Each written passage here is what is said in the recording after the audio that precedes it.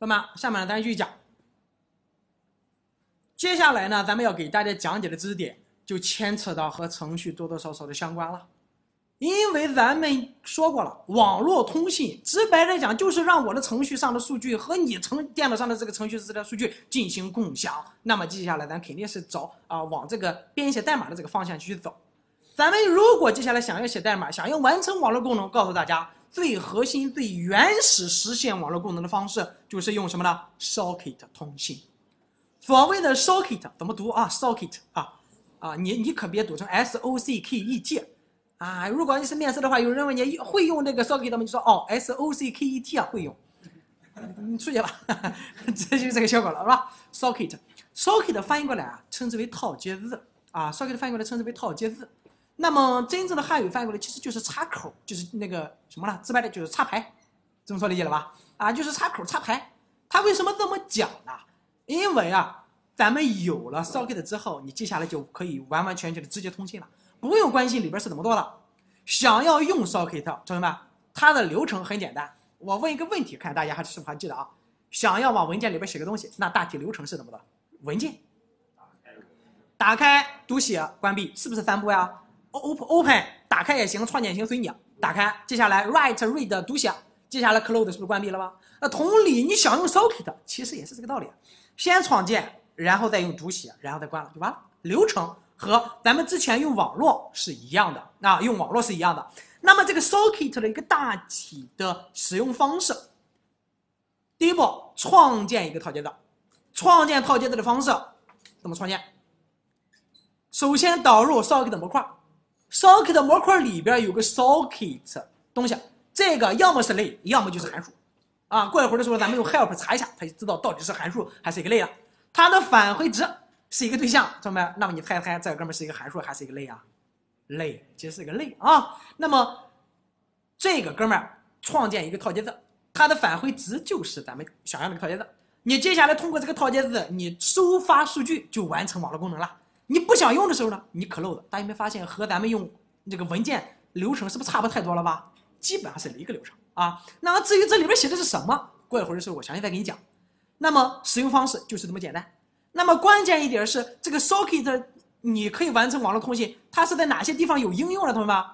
今天你所见到的所有的网络程序里边，百分之百用了 socket，百分之百的。因为在 Linux 里边、Unix 里边、Windows 里边、Mac 里边，一个程序想有网络功能，百分之百用 socket，因为只有通过它才能实现网络功能。那么 socket 像微信啊、陌陌啊、微博全部都有。甚至像这些聊天工具，呃，见没见过这个图标？知道吧？MSN 好像在中国是不是已经挂了，是吧？这个这个叫什么信来着？呃，飞信，这个什么中国移动整的，是吧？后来其实也挂了。有一些东西我也没见过啊，用都没用过啊。好了，那么像浏览器，见过这些浏览器了吧？说到了浏览器，同学们，把你的电脑上的那个用来抢票的浏览器留了，除了这个之外全删掉，不要有了啊！有那些浏览器干什么呢？一看别人就把你的形象拉低了，你懂吧？来，比方说东哥，我这个地方有个东西，你帮我看一下。我说行啊，你打开浏览器，我咱们走一走。你打开了一个叫什么猎豹浏览器啊？啊，你打开了一个叫什么的遨游，或者打开了叫百度浏览器。别用这些浏览器，他们有什么用啊？他们说那我用的挺好用。行啊，我也不是说让你强制，只是说如果你要是用了这两个浏览器呢，你就高大上了。哎，不用这两个，那都比较 low，就那么简单。啊，高大上了，高大上在哪儿呢？哎，不仅是用来装的啊，因为真正的有用处，特别是咱们搞开发的，因为咱们以后要用到的爬虫，直白的讲，分析一个网站的时候，其实就是用这个东西。我想把你的网站的数据给你扒下来啊，其实就是用的谷歌要么火狐，非常好用。开发的一般用这两个，百度就不要用了，是吧？那百度浏览器，我告诉你，这个它默默认干啥？基本上猜都能猜得出来，百度会收集你的信息。你浏览了什么？什么时候浏览的？你先浏览的裙子，后浏览的上衣，后浏览的这个发卡啊，后浏览的这个美容这个这个的一些化妆品，它都有收集，收集完之后传到百度，百度接下来给你推广告，你懂吗？你说用这个东西干啥？信息被泄露，你的隐私被泄露，万一你要是买了个娃娃呢？啊，有可能这里边也有，是吧？啊，所以说这个地方呢，啊，这百度就不要用了啊。我也没说什么，我说说了个布娃娃啊，我忘少写了个布。来，同学们，那么在这个地方呢，言外之意。啊，OK 了，可以了啊。什么是重点呀？？Socket 是一种用来完成网络通信的必备的东西，这么说理解了吧？OK，这就是 Socket。在今天的所有的网络程序里边，QQ 啊、微信、陌陌这些东西全部都有，浏览器里边都有，在线播放器全部都有。所以说会了 Socket，直白来讲，你接下来编写的程序，你就可以完成网络功能。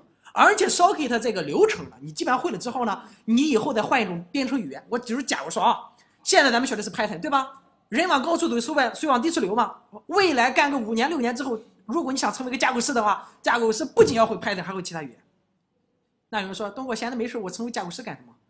我只说一句，架构师的工资有可能是你半年的工资，一个月的工资是你半年的工资，可以了吧？谁都想往那走，一个月将近十万块钱，一年百十来万，很正常的架构师，一年百十来万。那就说东哥，我想成为一个架构师，嗯，可以，先把这个梦想设定好。对吧？啊，没个五年六年不行啊！到那个时候呢，你自然而然的去学其他语言，百分之百都会。什么叫架构师啊？Python 会，C 会，C 加加会，MySQL 会，Redis 会，MongoDB 会，什么架构会，优化会，什么都会，懂我意思了吧？哎，什么都会。所以说，当你学完一个 Socket 之后呢，同学们，直白的讲，Socket 这个流程啊，它呢是在不同的语言当中的基本流程是一样的，懂了吧？流程基本上是一样，先创建，再用收发，再关闭，流程是一样啊，对，流程是一样。那么在这个位置。接下来咱就说了，socket 在这里边这几个参数分别表示什么含义？咱们不是说了网络有 UDP 和 TCP 吗？那么在这里边就应该设定好，你创建出来的网络是用来 TCP 通信的还是 UDP 通信的？好了，想要完成一个 UDP 的通信方式啊，或者是完成一个 TCP 的通信方式，那么你在这两个参数里边设定就行了。第一个参数是你的协议组。啊，协议组啊，简而言之，咱怎么理解呢？就是你不是要用 IPv4 吗？哎，这个地方你写个东西来标记你是用的 IPv4 就行了。那么后面再写个类型，你是用来标记是 TCP 的呢，还是 UDP 就可以了？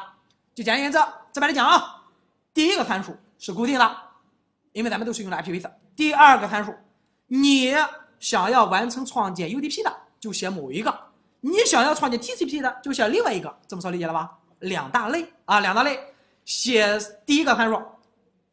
如果你导入模块是直接 import 到的，那么接下来咱们是不是就是用这个 socket 点什么 socket 点什么了，同学们？是这样用啊。如果你是 from socket import 新花弄呢？请问将来咱们前面还需要写这个东西点这个东西点吧？就不需要了啊。那么如果你是这么导的，接下来写呢 socket 的 afinet，那么它就表示的是 IPv4 的协议轴啊。这个写固定的啊，表示了咱们是用的 IPv4 的。那么第二个写上的是这个模块里边的 sock stream，那么这个翻译过来就是什么呢？TCP，这个翻译 stream 就是流啊流，而且这几个是大写，这几个是大写，不能变成小写，否则错误。你今天咱们不是学的是不是 UDP 同学们？所以说啊，socket 基本是固定的。第一个写 AFINET，第二个写 socket_dgram 啊 DZRAM，IAM 啊写这个。只要这个哥们不出错，没有异常产生，那么它的返回值就是一个对象。这个对象咱们称之为套接子对象。这个对象里边可以通过点儿什么点儿什么点儿什么完成收发数据。懂我的意思了吧？就这么流程：一创建，二使用，什么时候不用了，关了，完了，就这么道理。好了，socket 的基本上简单的使用方式咱就说完了，同学们。想要真正明白 socket 的使用，那直白来讲，咱们肯定是不是要写个程序来试验一把了吧？好了，接下来咱的方向啊，写一个程序，咱们试验试验说给它怎么用。